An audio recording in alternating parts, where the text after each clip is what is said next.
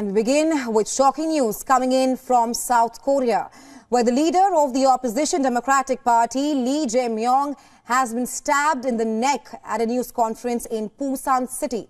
According to the latest uh, that's coming in at the moment, the attacker has reportedly been arrested.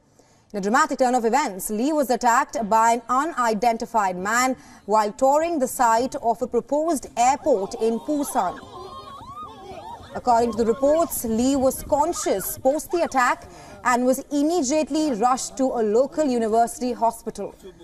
While unsettling video recordings reveal the attacker, a 56-year-old guy, pardon me, a 56-year-old man who was seen wearing a paper crown with Lee's name on it.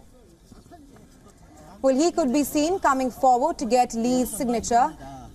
The man then jumped forward, stabbing Lee's neck at a distance of one centimeter. The attacker was quickly neutralized and taken into custody on the spot. Meanwhile, South Korean President Yoon Suk-yeol has condemned the attack, calling it an unacceptable act.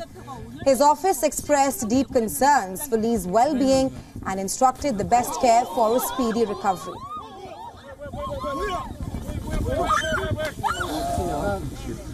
대항 전만대요 대표님 괜찮으세요? 저 뭐 지혈할 수 있는 거 저기 아니요 아니요 지금 뭐 피나. 목이 이거 이거 자, 지혈할 수 있는 피나 피네. 어떤 놈인데?